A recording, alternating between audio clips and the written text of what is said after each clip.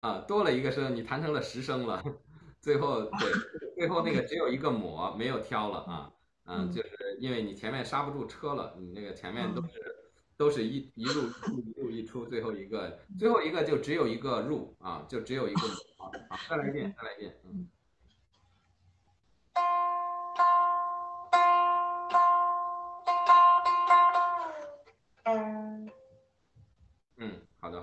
去回去反正慢慢练，那个地方是要去练一练的，嗯，是这样的啊，把它弹清楚了。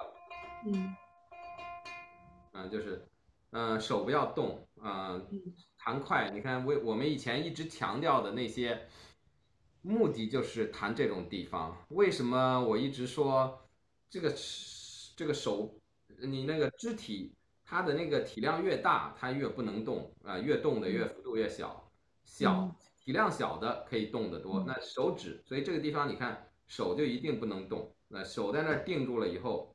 像一个毛一样，这样你的手指就只需要在那儿弯直，就一定会触碰到弦的。嗯，这就是为什么手不能动。大家平时弹那些慢的的时候，手也不能乱动，要养成一个很好的习惯，就是手指在击弦，啊，手手臂是在有必要的情况下才会起到这种辅助的作用。然后，嗯，那就是动的最厉害、最灵活的是手指。啊，其次是手掌，再次是手腕，再次是小臂，大臂就很少动，大臂就只有在那个托的时候才会啊，就是要遵循这个原则。所以这个地方你弹快的时候，就一定是手掌一定不能动。嗯，你看，就是手指在这儿。哦。那手手掌一点都不动。